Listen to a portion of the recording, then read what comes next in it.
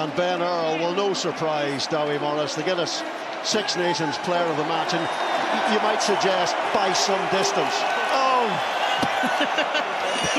there wasn't there wasn't a voting uh, situation there. It was a one-man vote. We've got some supporters behind it. They're going absolutely mad. I think we might get sprayed with some Guinness in a minute, but that's where it stands. It's given Scotland a chance probably to spoil the party. It doesn't matter. I don't know the permutations, whatever. I just want to see that guy there, Danny Care, celebrating Marcus Smith, putting smiles on people's faces. So many times people say that, and they don't really mean it. Well, they have today. It wasn't a classic game, but it was exciting if you're an England supporter. That's at the level that Ireland are, are accepted at. They're the team to beat, and England have beat them today. Well, that, that drop goal may not have been good news for Ireland, but it's brilliant for the Guinness Six Nations Championship. It means that uh, on Super Saturday, there's so much to play for. England, they go to play uh, France in Lyon. Ireland, they play the Scots in Dublin. Uh, Scotland beaten today by Italy by, by two points in Rome. The Italians moving up the table. They play Wales in Cardiff. Uh, the, the, wooden spoon, where's that going to go? Where's the championship going to go? There'll be no Grand Slam, but it's going to be a tantalising final weekend, that's for sure. Oh, mate, it just keeps on giving, doesn't it? It is the greatest rugby competition in the world. Andy Farrell knows they've been beaten today and probably by the side that took their chances. Ireland had their chances to do it. I thought England had imploded on a couple of times, giving away stupid penalties, but there was a desire there again led superbly from that man. But it takes a collective, it takes all 23, it takes the coaching staff. And I've got to say they were playing for Borthwick today. They're playing for the crowd, they're playing for whatever, it doesn't matter. They've, they've, they've just grounded out and they've won it. And that's all that matters. Uh, and yet they kicked England, but they, they said they would try to play the season. They try to move their game on, develop their game definite signs of that, you feel? There has to. They're not going to go away from this kicking game. You know, it's that classic thousand metres and whatever. We've talked about it. You, you, you, have, you have that within your game. You've got to have a balance. That's, that's the main thing. And they had a balance today. Could have lost it, but they didn't. They won it. Well done, Care. Yeah, Danny Care celebrating with his wife and, uh, and all the kids. Blake, Kohar, Rocco and Judy. Now let's get down to the touchline and get some reaction.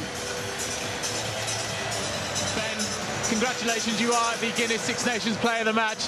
What an incredible way to win a test match here at Twickenham. Yeah, um, unbelievable really. I'm a bit emotional because uh, obviously Jamie lost his mum the other week and uh, spoke a lot about that this week and then Danny's 100th and, and you know some of the crap that's been thrown at this team over the last week you know, apparently the, we're the worst England team ever. So um, we done pretty well for that accolade.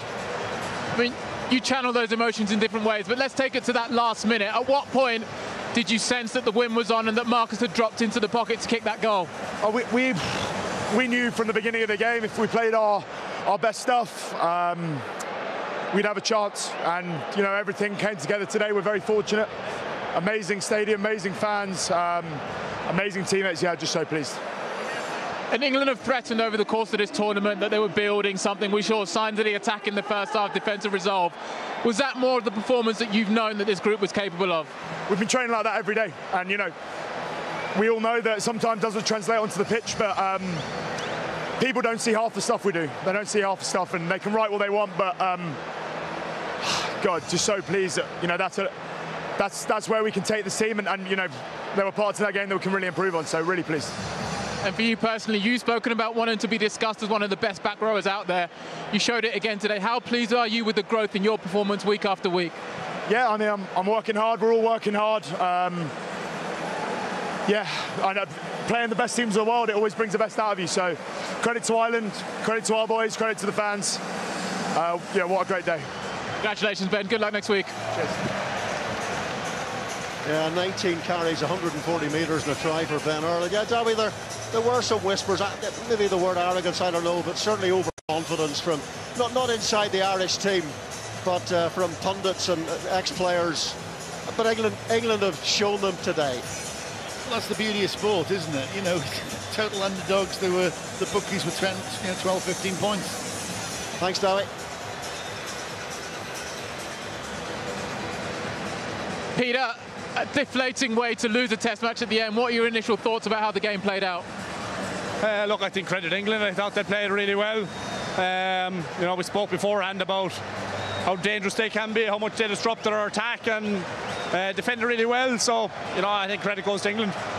It looked that they came in with a clear game plan. Were you perhaps frustrated that you weren't able to figure it out and get into your normal rhythm? Yeah, look, we, we were frustrated with some of our, certainly some of our discipline was poor, including my yellow card, but um, I think it was more down to them putting us under pressure.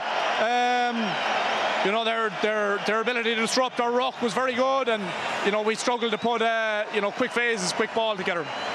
You still head into next week's fixture against Scotland with a chance to win the championship. So, what lessons will you take out most from this game? Yeah, look, we'll, we'll, we'll go home and we'll review. Um, we'll get back into camp and we'll kick on and, and uh, you know we'll, we'll, we'll, try and win a, a Six Nations championship. Thanks, Peter. See you next week. Well, England against Ireland is a rivalry. It's many storied. Ireland have had their glorious successes in London, but also some of their most painful defeats.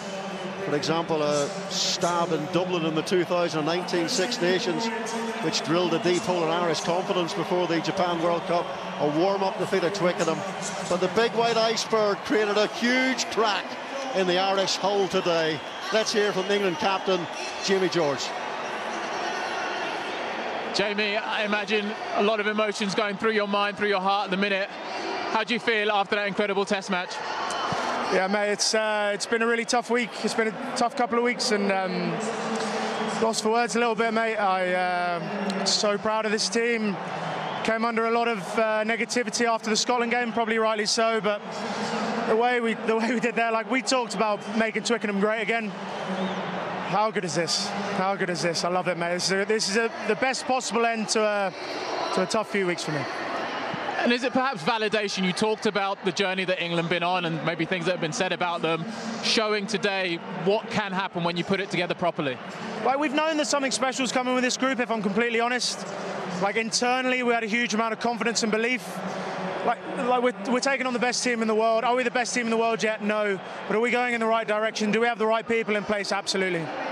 And it's been a couple of years since England have won three in the championship, win a fourth, and you perhaps could finish with the title depending how results go. How pleasing would that be, given the journey that you've been on over the last few weeks? Mate, that's um, that's the goal. That's why we're here. We've got to regroup. We've got to have a few beers tonight. Uh, I need to have a few beers tonight. But then, look, we've got a tough challenge going away to France. They're a great team. Um, but look, if we can't take belief off that performance, we never will be able to, and that was special. Congrats, Jamie. Go and enjoy.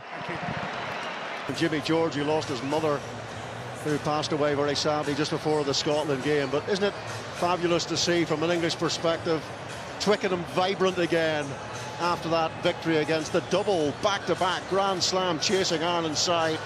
Look what it means to Maro Itoje and the rest of the England players. Faye Boso could have a very long career ahead of him in English shirt. And Joe Marler is always up for the crack as they say. Marcus Smith making the difference coming off the bench for England to secure the three points that beat Ireland. Beat Ireland. And here's the table almost complete after round four. Ireland still on top with 16 points. England four points behind them. Scotland five points behind Ireland at the top. Ireland, they play Scotland in Dublin. England, they go to France in Lyon and uh, Wales play Italy in Cardiff. And remember, Wales play France tomorrow in Cardiff, and that uh, result there will shape the table further. But no Grand Slam for Ireland, still very much on for them, though, to win the Guinness Six Nations Championship should they dispose of Scotland next week in Dublin.